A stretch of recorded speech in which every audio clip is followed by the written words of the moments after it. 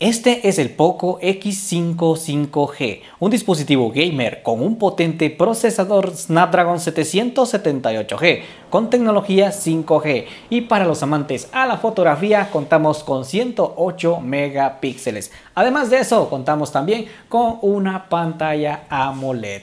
¿Qué tal? ¿Cómo están? Bienvenidos una vez más. Buenos días, buenas tardes, buenas noches, donde quiera que te encuentres. Toma asiento, ponte cómodo porque iniciamos el review de este dispositivo. La verdad que estoy muy emocionado por presentarles este review y la verdad que me ha dejado un buen sabor de boca. También vamos a hablar acerca del legendario Poco X3 Pro porque lo pusimos a prueba de igual forma. Esto fue siempre muchas gracias a los amigos de Fons de Guatemala por enviarme los tres colores. Así tú decides con anticipación cuál es tu favorito. Y a ti siempre por llegar en este canal. No te despegues de un segundo porque iniciamos ya con el review.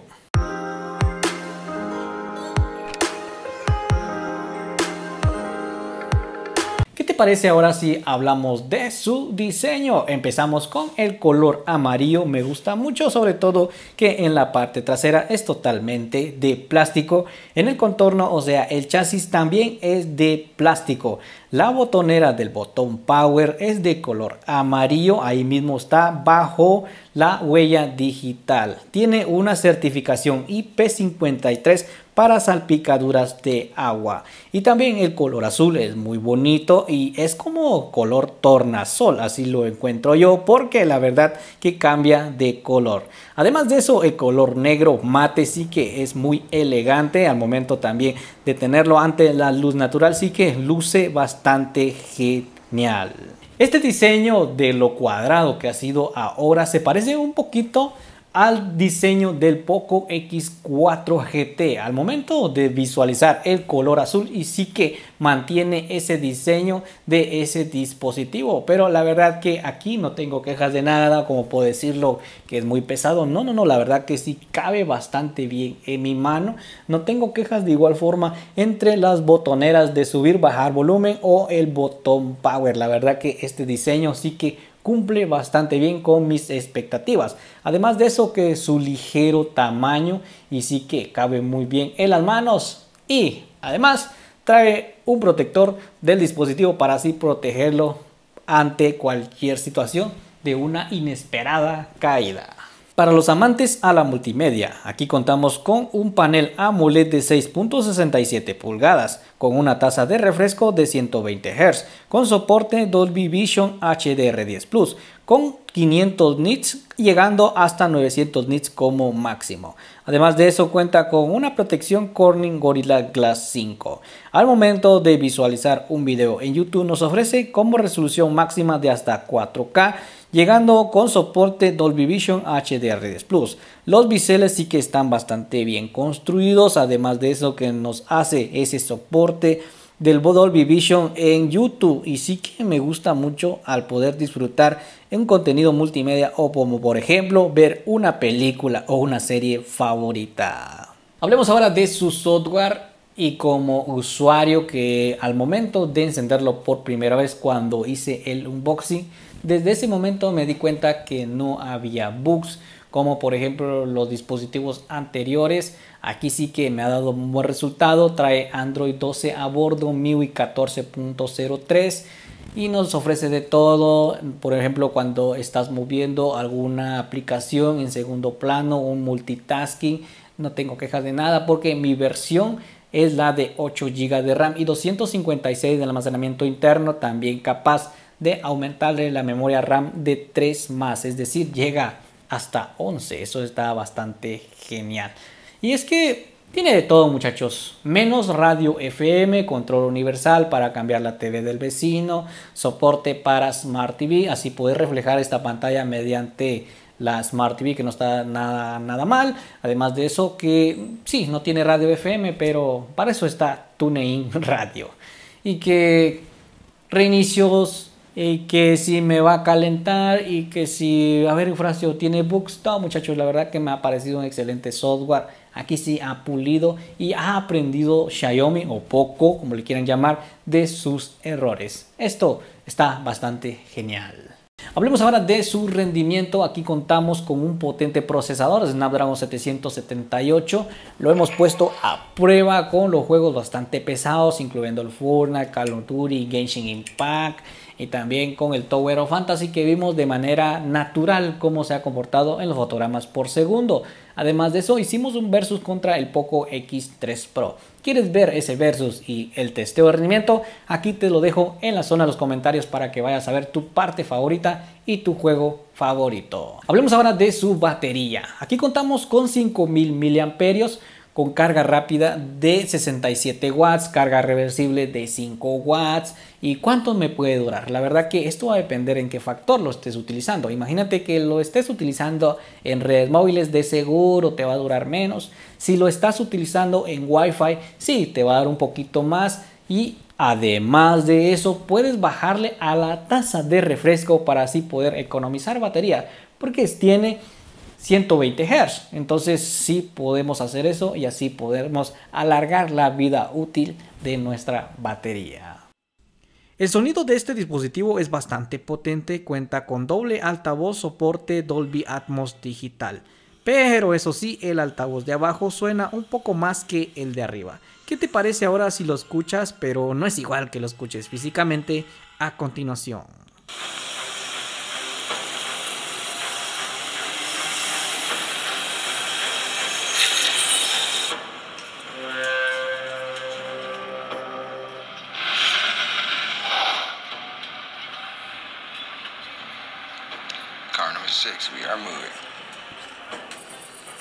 Alpha, repeat four Alpha, window seat is teams on all sides. Copy that.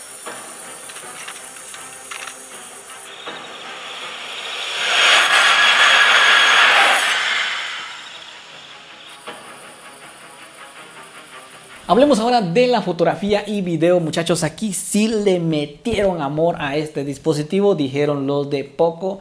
Metámosle 108 megapíxeles, una buena cámara selfie con un modo buque exquisito. ¡Mua! ¡Qué fotones, muchachos! ¿Qué te parece ahora si vamos realmente al testeo de rendimiento en fotografía y video a continuación? La cámara de 16 megapíxeles, estos son los resultados. ¡Qué fotones, muchachos! La verdad que ha hecho un buen trabajo. Hagámosle un pequeño zoom a esta foto. Miren el recorte en los dedos, en la cabeza, en la camisa. Muy bueno muchachos. De igual forma lo pusimos a prueba aquí. Miren ahora vamos a hacer modo recorte. Sigue manteniendo ese fondo borroso. Luego nos pasamos ahora en condiciones de luz natural. Sigue manteniendo ese buen enfoque. De igual forma en modo recorte, modo retrato. Muy bien muchachos. Ahora con el sol totalmente en el rostro. De igual forma en fondo borroso sí que luce bastante genial. Hacemos un pequeño pellizco, un pequeño zoom y sí que lo hace bastante excelente. De igual forma lo pusimos a prueba más que todo en condiciones de poca iluminación y sigue manteniendo ese efecto bastante bien. Ahora, la cámara principal de 108 megapíxeles, qué resultado muchachos, miren eso, el fondo borroso lo ha hecho bastante bien, luego hacemos un pequeño pellizco, un pequeño zoom, sigue manteniendo ese recorte, mira aquí estoy yo, de igual forma vamos a hacerle un pequeño eh, zoom, más que toda la foto en modo retrato, sí que luce bastante genial. Y sobre todo si tomas también fotos en algo, un monumento, como por ejemplo, miren aquí, luego modo recorte, wow, qué resultado. Aquí tenemos una foto, luego en poca condición de luz y sí que el cielo lo hace de una manera excelente. Qué fotones muchachos. Ahora en modo nocturno, miren aquí tenemos una foto normal, luego en modo nocturno, wow, qué cambio. El cambio lo ha hecho bastante notorio, muchachos. Miren este monumento, bastante genial. Cómo luce las plantas, cómo luce esa interpretación de colores. Miren aquí el aeropuerto de igual forma, bastante genial. ¿Qué te parece ahora si vamos a una prueba de video a continuación? Esta es la prueba de video en el Poco X5 Pro. Estamos grabando con la resolución máxima de hasta 1080, pero a 60 frames por segundo no hay 2K ni 4K por el estilo, pero el resultado lo ha, lo ha estado haciendo bastante genial. No tiene fondo borroso, no hay modo buque, no, no, no. Pero la inteligencia artificial sí actúa como tal, un color bastante brillante, incluso en condiciones de mucha luminosidad, como por ejemplo ahorita. Esto lo sigue manteniendo bastante bien. Miren cómo hace el cambio. Sí, está bastante genial. De igual forma, el mic graba los videos de una manera excelente. Bien con este resultado. Esta es la prueba de grabación en el Poco X5 Pro. Estamos grabando de hasta resolución máxima en 4K a 30 frames por segundo. Comprobaremos su enfoque. Muy bien, rápido. Vamos nuevamente. Le haremos un zoom digital hasta el... Vamos a ver por acá. Nomás llega hasta 6 aumentos muchachos. Solo hasta 6 aumentos de manera digital mantiene bastante bien ¿sí? comprobaremos ahora cómo hace su enfoque por acá sí, lo sigue manteniendo bastante bien ¿sí? el fondo lo hace totalmente borroso aunque la planta sí está un poco sequita o sea esta pero lo demás sí está bastante conservado ¿por qué se murió? no sé uy no si no me pica esto. Pero sí está bastante bien conserva el fondo borroso y esto como primer plano pues lo conserva de una manera excelente. Eso está bastante genial. Bien con ese resultado